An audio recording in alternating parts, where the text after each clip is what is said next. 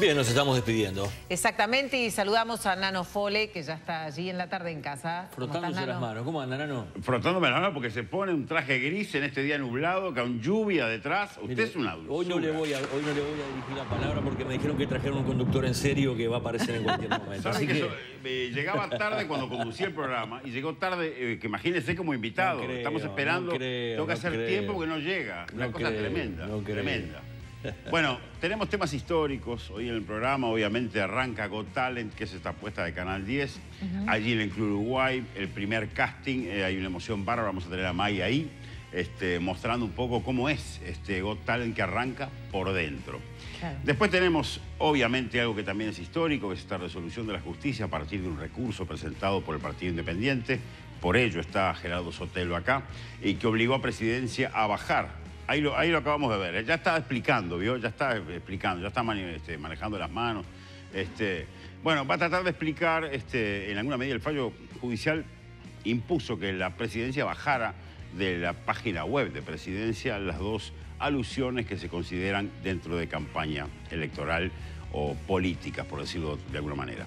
Y al final está Richard Reed, ex dirigente sindical, un hombre con una proyección distinta que vamos a tratar con él de mirar eh, las relaciones laborales que se vienen, de acuerdo a los escenarios posibles, este, que ya están más o menos delineados, este, cómo se ve el Consejo de Salarios, la conflictividad y la visita de los candidatos a la FUEB, que es algo que promovió la operación de la bebida y que, bueno, que importa también vislumbrar. Así que, bueno, este, por ahí viene la cosa, en este día de lluvia, para quedarse ahí. Buen programa, un abrazo. Bueno, nos vemos, hasta luego.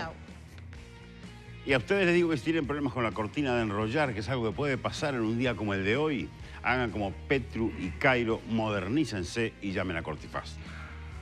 Cortifaz te coloca motores y con solo apretar un botón tu cortina sube y baja sin esfuerzos. Reparan o venden cualquier tipo de cortina o instalan una donde no la hay y sin trabajo de albañilería. Cortifaz reemplaza tu vieja cortina por una en aluminio con aislación y si tenés en madera te la reciclan. Portones basculantes con motor y control remoto. ¿Qué esperas? 0800 2678 www.cortifaz.com.uy Bueno, arrancamos este jueves nublado de lluvia. Un placer tenerlo acá como invitado esta vez. Sotelo, Gerardo, ¿cómo está? Gracias, muy amable. ¿Y bien usted? Este, bien, bien. Me alegro, me alegro. Eh, veo, le tenemos equipo acá para golpearlo. Este, como corresponde. Como corresponde, ¿no? Vino a eso. A ser golpeado. A ser golpeado, ¿no? Este, pero bueno, hay varias cosas con usted. Estamos acostumbrados. Eh, bueno, el Partido Independiente en alguna medida promovió con este recurso un fallo que es histórico. Mm. Lo decía el abogado del Partido Independiente el otro día, que que si bien eh, lamentaba el, fallo en lo que implica, eh, no deja de ser histórico intimar a presidencia que baje estas dos... Condenar, sí. sí. el fallo es condenatorio a que e intima a que baje... Eh, después hubo otras derivaciones. Pero además está la ley de medios, este, que es otro elemento que también el Partido Independiente acaba de, en alguna medida, este, poner allí arriba de la mesa. La pregunta es qué significa que en la fórmula presidencial del Partido Independiente y tan cerca de Mires haya dos periodistas pregunta eh, capciosa, si quiere. Pero espere, espere mientras piensa, respira. Porque usted sé que le cuesta aletea un poco antes de volar, como los pelícanos. Tenemos un tape motivador, bueno, para, para ir entrando en tema. Véanlo. Ayer se conoció el fallo de la justicia que obliga a Presidencia a no publicar contenido que intervenga en la campaña electoral. El Partido Independiente había presentado una denuncia por considerar que las notas publicadas el 5 y 8 de octubre por el portal de Presidencia de la República tenían contenido electoral y por lo tanto violan la Constitución.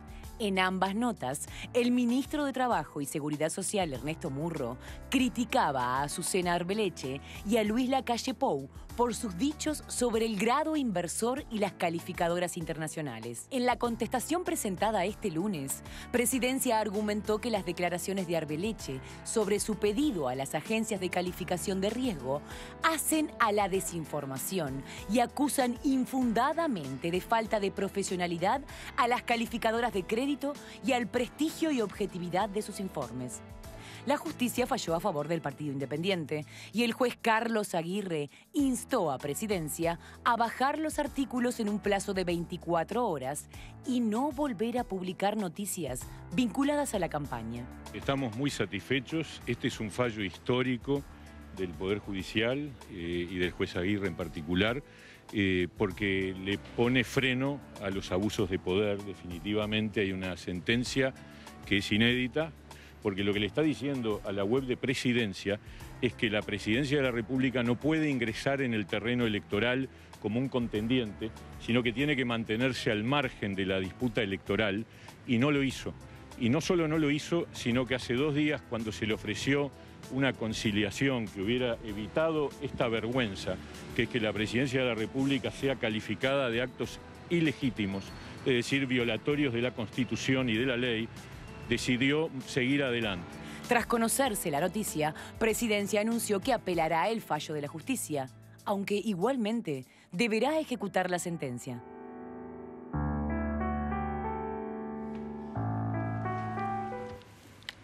Bueno, específicamente me interesaría conocer, quiero que los televidentes también, cuál es el, inciso, el, qué se vulnera, eh, qué es lo que en la Constitución dice que fue vulnerado con esta eh, acción de presidencia. Lo que alegó el, Partido Independiente en el escrito del doctor Don Ángel y recoge el doctor Aguirre. es que se violó el artículo 77, numeral 5 de la Constitución, que prohíbe a la presidencia de la República hacer propaganda electoral de especie alguna, considerando, como no podía ser de otra manera, que la página web de presidencia es parte de la presidencia de la República y que por el principio de especialidad los organismos públicos únicamente pueden cumplir con aquellas tareas que les son específicamente asignadas por ley.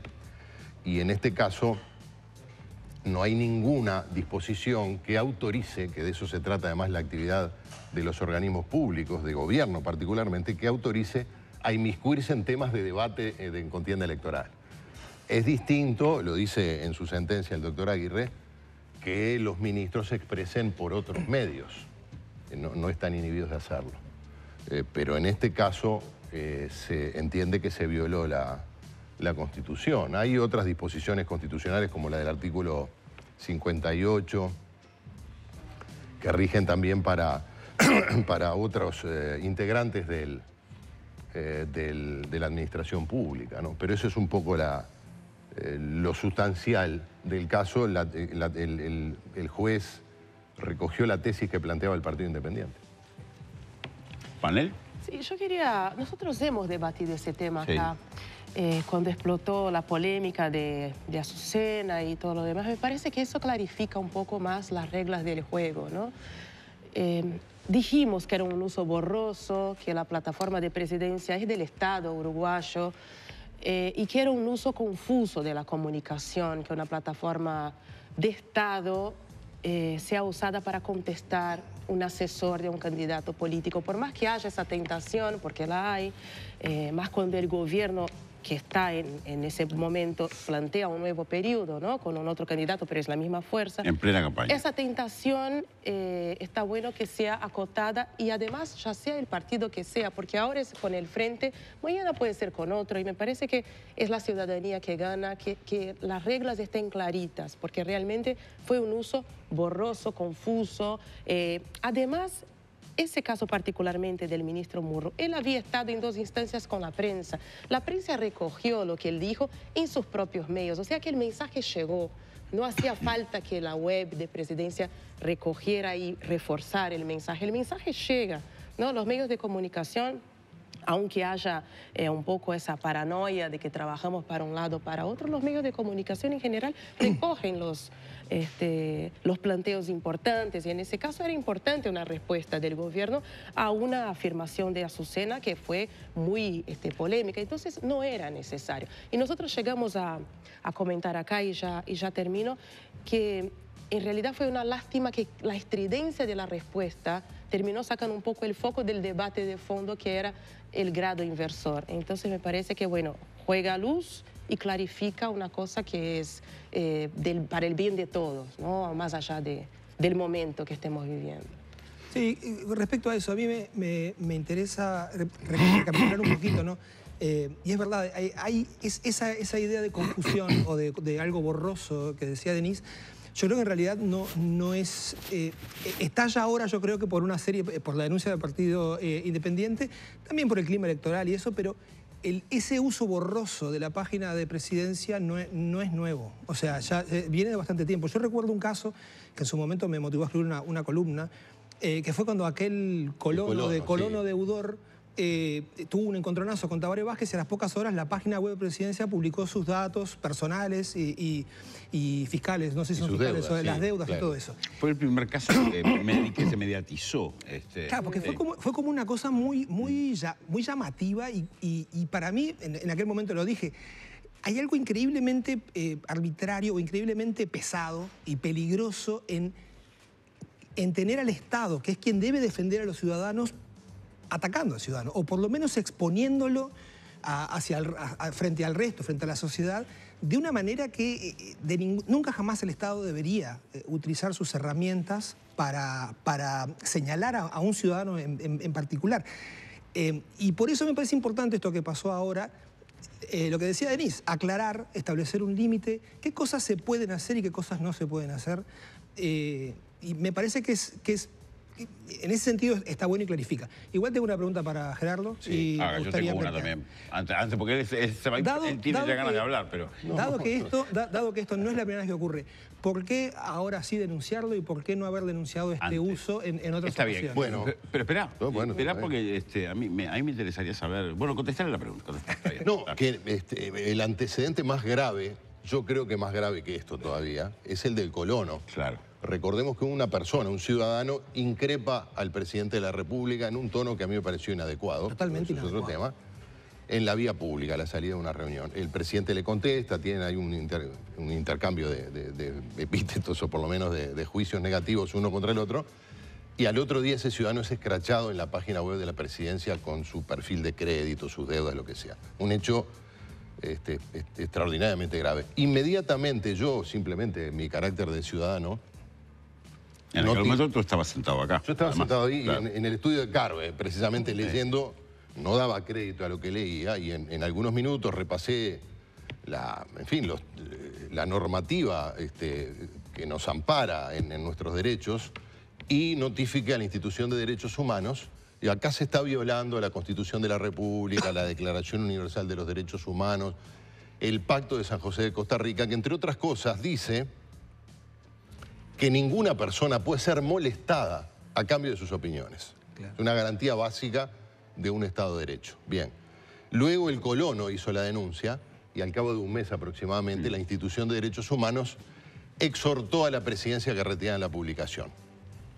Eh, eso es un antecedente de denuncia en mi carácter de, ciudadano. En este caso me pareció este, necesario que y así ocurrió que el Partido Independiente se comprometiera en una denuncia en pleno proceso electoral, porque tenés que, según estipula la ley para aplicar el, recurso de amparo, tenés que estar comprendido por, por la acción que, que estás reprochando. Y, en ese sentido, cualquiera de los partidos que compite eh, está siendo menoscabado en sus derechos por este tipo de publicación. La pregunta mía iba por un lado similar, porque teniendo en cuenta el antecedente del colono, que no es la primera vez, teniendo en cuenta alguno que otro, y este en que motiva el recurso del Partido Independiente, ¿cómo eh, vieron ustedes que además fueron testigos de la consulta de la abogada a presidencia y la respuesta no a la conciliación?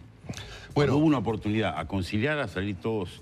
Este, ¿Cuál es el, análisis, quizá, este, inclusive, de, cuáles son los aspectos eh, que motivan la respuesta? Lo que pasa es que a nosotros nos parecía lo mismo que después le pareció al juez en su sentencia, que el hecho denunciado, mira lo que dice el juez, dice la, ilegitimidad en estudio, la ilegitimidad de, de las publicaciones de la presidencia deviene clara, evidente, inequívoca y grosera. ¿eh? Prácticamente se prueba de inmediato. Lo que nos se prueba sola. Se prueba sola. Era flagrantemente ilegítima. De manera que este, no correspondía desde nuestro punto de vista otra cosa de pedir un amparo, porque si la presidencia entendía que eso era legítimo, como entendía, perfectamente hoy, mañana, la semana que viene, eh, en vísperas de la segunda vuelta electoral, podía publicar ese tipo de especies u otras. Eh, con respecto a la negativa de presidencia a aceptar la conciliación, eso obviamente está en su derecho de hacerlo. parecía claro, por los términos en los que el juez estaba planteando la conciliación, que en una eventual sentencia iba a recoger la misma tesis. Parecía simple de mirar. claro, que el juez dio la chance, que obviamente el, partido la aceptó porque contemplaba en todos sus reclamos, de ahorrarse el bochorno, de ahorrarse la presidencia de la República, de un fallo, el bochorno de una sentencia que finalmente, al negarse a la conciliación, llegó 48 ¿Y tiene para ti lectura política eso? ¿Cuál es? ¿Qué cosa? esa negativa. Eh, me, cuesta mucho interpretar eh, la mirada jurídica de la presidencia de la República porque realmente, como lo dice el juez y como cualquier persona que conozca mínimamente la legislación vigente y la doctrina en materia de protección, de la ecuanimidad, del equilibrio que tiene que tener el Estado en un proceso electoral, esto de la ecuanimidad y el equilibrio es eh, parte de las recomendaciones de los relatores de libertad de expresión de las Naciones Unidas y de la OEA a los gobiernos, y esto ya tiene 10 años por lo menos, de manera que me cuesta mucho este, interpretar cómo ven el Estado de Derecho. Yo vi sentado acá mismo a Juan Andrés Roballo hace una semana decir que con esta iniciativa el Partido Independiente denigraba las instituciones democráticas. Me gustaría saber qué dice ahora que hay un fallo condenatorio de un juez de este país, ¿no? Sí, también hay una contrademanda de... Sí, lo que pasa es que por tratarse de un recurso de amparo igual, como han hecho, tienen que cumplir con la sentencia. Sí, sí, que está cumplido hoy. Se cumplió, hoy, ¿no? Se cumplió una parte, sí. Se levantó la publicación. La otra parte de la sentencia es que eh, la presidencia de la República tiene que dejar de hacer este tipo de cosas. No volver a incurrir en este tipo de... esa, era la pregunta que yo hacía. ¿Qué clase de precedente... O sea, genera. claro, ¿qué, precedente genera? ¿Qué hay chance de que cosas, por ejemplo, como lo del como lo del colono, y, hay un par más en el medio que no recuerdo, pero que fueron también bastante sonoras. ¿Qué, qué, implica esta sentencia respecto a, lo que ya, a lo que ya era como una especie de, no diría que práctica, pero uh, parecido. bueno, implica, pues, lo que decía Denis me parece muy relevante. Esto no es, el episodio hoy está condenando a este gobierno y si se vuelve a repetir, ojalá que condene al, que venga, no importa de qué partido sea, lo que importa es la vigencia de las garantías constitucionales, eso es lo único por lo que tenemos que velar. Pero ya hay un antecedente, hay jurisprudencia, hay un fallo histórico. Yo no sé en cuántos países del mundo un gobierno es sancionado, condenado por la justicia por utilizar el aparato del Estado en beneficio del partido de gobierno. Yo creo que es incluso histórico este, a nivel Bueno, habla bien de la separación, habla, de la separación, de, la separación del Poder Judicial. Sí, yo creo que el PT fue sancionado. ¿También, sí? Sí, creo que sí. Este, pero no sé, digo... ¿Por lo mismo, por algo similar? Sí, por algo similar, sí. Claro. Eh, eh, esto marca, porque claro, quizás en otra época eh, se hacían cosas con relación a los... o peores. Similar. Lo que ocurre, claro, lo que ocurre es que hoy, felizmente estamos en otra época en todo sentido, pero particularmente porque tenemos unos medios de comunicación eh, digitales que luego se viralizan, se replican en los canales. Sí. Estamos todo el tiempo en contacto con todos los medios por todas las vías. Hay un escrutinio mucho más Exacto. Entonces lo que hace el portal de presidencia eh, tiene reverberancia. Bueno, pues por eso publicaron ese comentario de Murro, ¿no? Porque tiene nada menos que el respaldo el aval de la presidencia de la República. ¿Me deja ir una tanda? Como no, usted es el dueño del programa. No, no, yo le iba a decir para que lea usted eso, pero no, no se va a recordar nada. Bueno, Empanadas de la Ribera cumplió 15 años el gusto sano de la empanada horneada con ingredientes sabrosos, sanos y naturales y de primerísima calidad para compartir y disfrutar en familia o con amigos, con más de 30 gustos para elegir, 7 locales con deliveries a más de 30 barrios de Montevideo y Ciudad de la Costa. Entra en www.delaribera.com.uy y mira cuál es el local más cercano. Empanadas de la Ribera, 15 años juntos para disfrutar más la vida.